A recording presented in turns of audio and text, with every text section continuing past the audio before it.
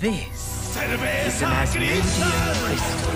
It's registered in your name. Oh, what? Asmodeus has his demons legally travel to Earth for work all the time.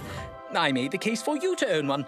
You will be technically under his but you will be able to go anywhere you want in the human realm What? without fear of consequence, What?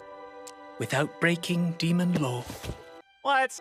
You no longer need my grimoire. What? You no longer have any obligation to see me, What? to touch me, What?